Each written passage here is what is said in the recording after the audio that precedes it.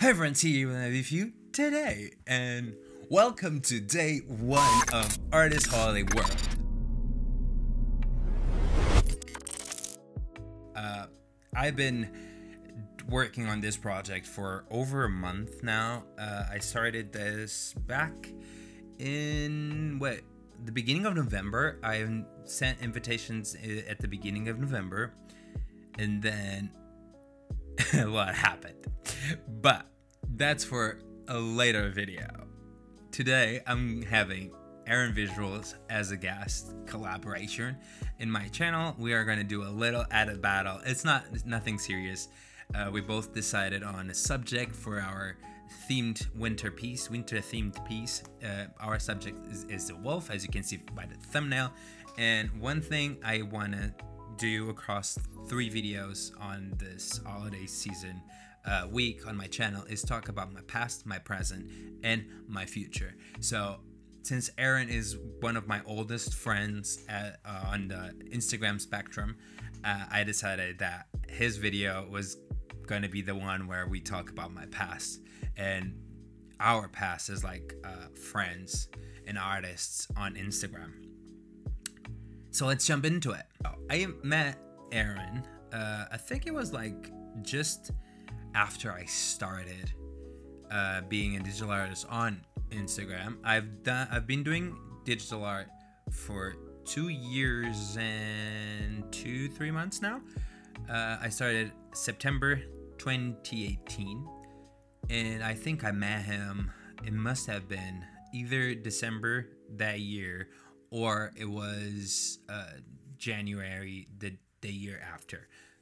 Being an artist on Instagram is uh, on, on not only on Instagram but on any platform uh, where there's a comparison uh, between like followers, likes, engagement, all that. It's a struggle when you don't have a lot of other things to do. So this year we had COVID, right? And I've been struggling since the beginning of the year. I've been very open about this. Uh, I've been struggling with seeing the purpose on what I'm doing. I've recently came across what I think it's my purpose, but for a few months and for now, like probably a year, I've been really struggling to find like a reason why I want to do what I do. So I know I love art. I, I've I studied art. I've been on like artistic uh, paths since I was 12. Uh, I've done music. I've done a lot of things, um, and that really wasn't my question. My question was, why do I deserve a community? Why do I deserve a platform? Why does anyone deserve that? And I've had this conversation with Aron before. I've talked to him about what he thinks in like in the community aspect of things and we've dealt with a lot of people um, as like a lot of other artists i mean and one thing that we've recently talked about was like people that do this for the wrong reasons and end up, in my opinion, uh, I'm not talking for Aron, this is my opinion. Some people do this for the wrong reasons and probably don't really deserve the platforms they have. And I didn't want to be one of those people. So I've been searching. It's been a long, long process. When you create on like a social platform, it doesn't mean like Instagram, just like any social platform, be it like ArtStation, be it uh, DeviantArt, be it other any other platform, um, you will end up like criticizing yourself in comparison in comparison to other people. And one thing I've noticed, and this is probably the main reason why I wanted to talk about past, present, and future. One thing I've noticed is I've done a lot of comparison to people that start and rise to the top very fast. Um, I was never uh, that person. Uh, I had a fashion blog for a, for a few years, and I ended up being successful at that, but I was never that person that joined the fashion blog industry and became famous, quote unquote famous, in like two seconds. I was never the person that, like, I idol- idolize, idolize, idolize a lot. The um, I romanticize. That's the word. I romanticize a lot the idea of like going to a, a TV show and doing an audition and that, like, kind of starts your career as a musician. Like a lot of um, tw- like early 2000s uh, themed uh, movies, maybe even like the late 90s movies where the the kid had a dream and he became successful and it like you know that so I noticed that I was doing that a lot. Like I was comparing comparing myself to people that joined the community rise really fast and then didn't really do anything with their community. And i i would say to myself like wait but am i not a good enough? Am i uh, not providing good quality? Is my content empty? And i would end up even sometimes I, I like i know i was guilty of this. Like sometimes i would say oh but that person's content is not as good as my content. And that's not the case. Like it doesn't matter. It doesn't matter where my content is. It doesn't matter where your content is. It doesn't matter where Aron's content is.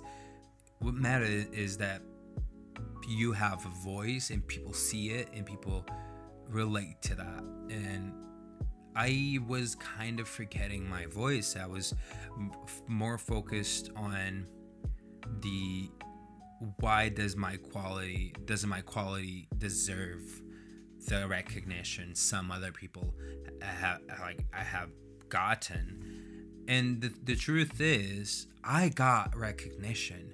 The problem is when you get it, you don't see it until you stop to look at it and, and be like, oh, god damn it. Like, it's there. It's not just a number. And I think uh, the problem here is eventually everyone ends up in the trap of social media numbers because we are marching to this society norm where kids have followers where like your mom has followers your aunt has followers your brother has followers and people are starting to not see friends as friends. Like i remember when i joined social media you would add friends now you follow people um, you would be like uh, someone that wanted to see what your friends were doing. Now you want to follow what your influencer is doing. And it's been a big journey, but not a long journey. Like it's been two years. Two years is not a long time at all. So if I wanted to give you a little like reason for this video is, or like moral to the video is, see my journey and see Aron's journey. We started roughly at the same time. We've grown a lot as human beings and as artists.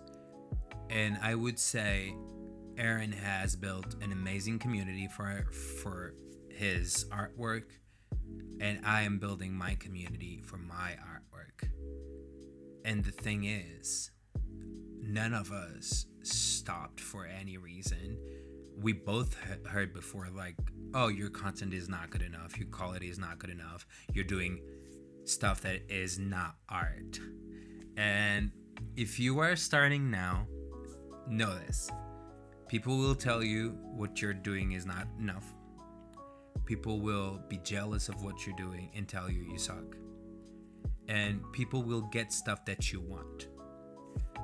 The key is don't stop, keep going. If you really have a passion for this, keep going, find your voice, and you will eventually grow your own community, your own friends. You'll meet the people that you now, quote unquote, follow you will be the person that other people want to see work.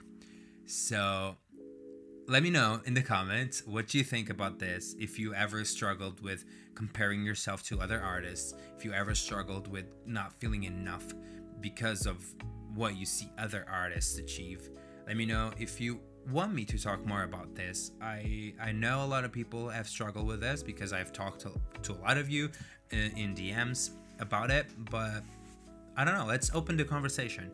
Let's talk publicly about this because there needs to be more public talk about this topic, in my opinion. But yeah, let me know in the comments also who won this competition, this little edit battle, because you know, like we're still comparing ourselves, but in a very healthy way. So if you like our pieces, go over to our Instagrams. We posted it today. Go drop a like on both pieces. Hopefully, follow Aron for more content like this and follow me for more content like this. Tomorrow, my invited guest is Tablo. Uh, I'm going to be talking about my present, where I am right now, where my perspectives are for the present. And the day after, I'm to be talking about my future and be working on a cyberpunkish theme with a thin line between. So if you like that idea of talking present future on my next two videos, drop a subscribe and leave a like. Let me know what you thought about this video, and I will see you on the next one. Goodbye.